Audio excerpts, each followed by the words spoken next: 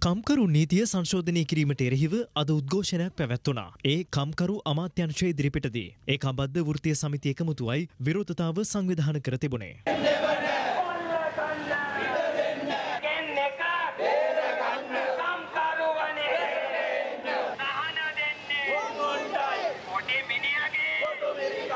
දේශීය ණය කප්පාදු හර අර්ථ සාධක අරමුදලට තින බරපතල කොල්ලකෑම.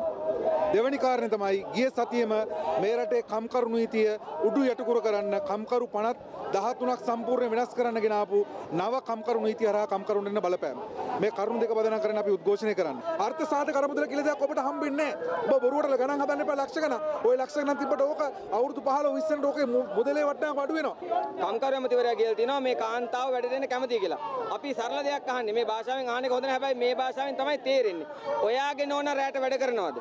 අපි අහන්නේ කම්කරු ඇමතිව ඔයාගේ නෝන රැට වැඩ කරනවද? මේගොල්ලන්ගේ සංස්කෘතික ජීවිතය සම්පූර්ණයි. හැබැයි මේ වැඩ කරන කම්කරුවන්ගේ සංස්කෘතික ජීවිතයක් ඕනේ. ඒගොල්ලෝ ඉපදලා තියෙන වැඩ කරන්න. උඹලට ඕන විදිහට නරන්න අපිට තියන්නේ නැහැ. හාම්පුතු සතුටු කල්ලා කම්කරුවගේ බෙල්ල මිරිකලා ශ්‍රමය සූරා ගැනීමේ ක්‍රමවේදය සකස් කරන්න තමයි මේ සූදානම් වෙන්නේ. EPF EDF අරමුදල අත තියන්න එපා.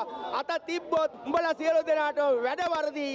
ඒක නිසා අපි කරුණා කළා කියනවා මේ අනීති වගේ මේ අනපනත් වහම අකුලා ගන්නේ